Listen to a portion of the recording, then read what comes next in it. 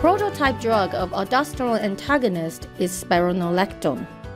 First introduced in 1950s, spironolactone was and has been recognized as a potassium-sparing diuretic. As our understanding of its therapeutic mechanism advances, it is also now categorized as an aldosterone receptor antagonist. Therapeutically, spironolactone belongs to the category of diuretics.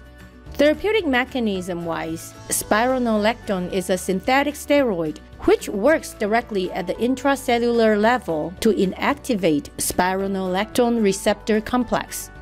As the receptor is antagonized, the mediator protein that is in charge of sodium potassium exchange is inhibited, which in turn prohibits the reabsorption of sodium and interrupts the excretion of potassium. The therapeutic effects of lowering blood pressure and decreasing cardiac preload are then achieved. Commonly used together with thiazide, spironolactone is a drug of choice for hepatic cirrhosis with edema. As a hormonal antagonist, it is used to detect and treat hyperaldosteronism. As a diuretic, spironolactone is used for edema caused by hepatic cirrhosis and heart failure. As an adjunct to ACE inhibitor or loop diuretic, spironolactone is used for severe heart failure. Resulting from its therapeutic effects, spironolactone is also used for resistant hypertension and diuretic-induced hypokalemia. Adverse effects of spironolactone are listed here. GI adverse effects include stomach upset and GI bleeding. Hormonal adverse effects include gynecomastia and inability to maintain erection in male, menstrual irregularities in female.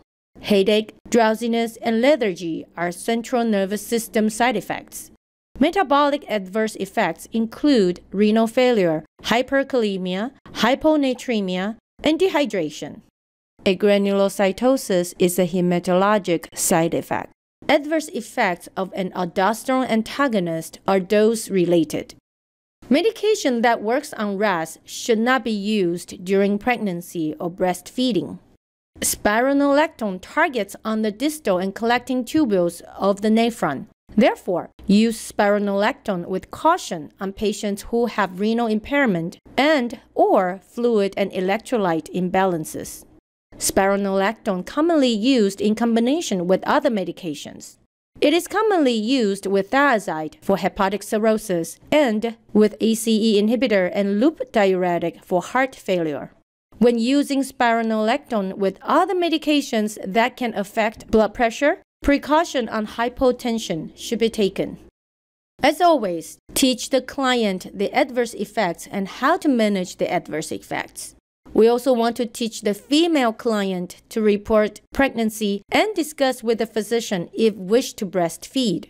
Teach the client to take tablets in the morning and or early afternoon to avoid nocturia.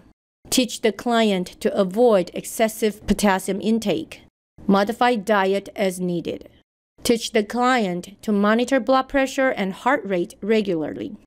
We need to inform the client to call 911 if experiencing symptoms of heart attack. Monitor potassium level and kidney function on a routine basis by checking basic metabolic panel and follow up with a physician. Monitor elderly patients more closely as they are more susceptible to fluid and electrolyte imbalances. Teach the client prevention of orthostatic hypotension and safety measures. Inform patient possible breast tenderness and enlargement. Here listed are medications, herbs, and diet that could interact with spironolactone. Antihypertensives that work on RAS could add to the effects and adverse effects of spironolactone. Use the combination with caution and monitor blood pressure and heart rate and electrolyte and kidney status. Acetylsalicylic acid, aspirin, and other salicylates decrease or block the therapeutic and diuretic effects of spironolactone. When spironolactone is used with anticoagulants, monitoring PT and INR is necessary because spironolactone could decrease the anticoagulation effect. Low molecule weight heparin can increase risk of hyperkalemia of spironolactone. It is not recommended to use NSAIDs, potassium sparing diuretic, and potassium supplement together with spironolactone because of increasing risk of hyperkalemia. When used with lithium and digoxin, spironolactone alter the renal clearance of these two medications, leading to risk of toxicity. The drug levels are to be monitored closely. The aldosterone like effect of licorice could be antagonized by spironolactone. The ulcer healing quality would be blocked, and risk of hypokalemia increases with this combination. Spironolactone can increase BUN and potassium levels, and it decreases sodium levels.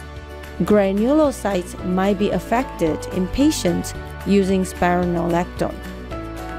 Thank you for spending time with me. I look forward to seeing you in the next lecture.